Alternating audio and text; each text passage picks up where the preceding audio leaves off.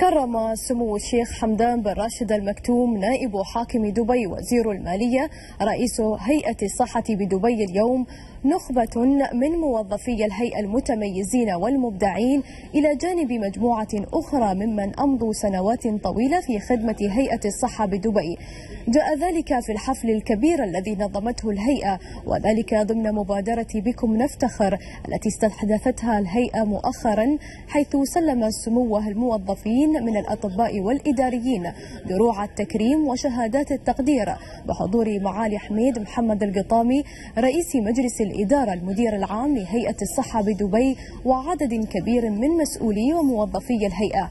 وتقدم معالي القطامي بكل الشكر والامتنان إلى سمو الشيخ حمدان بن راشد المكتوم لتفضل سموه برعاية الحفل وحضوره لافتا إلى أن سموه وجه بأن يتم تنظيم حفل التكريم سنويا تحت عنوان بكم نفتخر وذلك تقديرا من سموه للمتميزين وتحفيزا لأسرة الهيئة وأفرادها كافة على التفاني في العمل والإنجاز.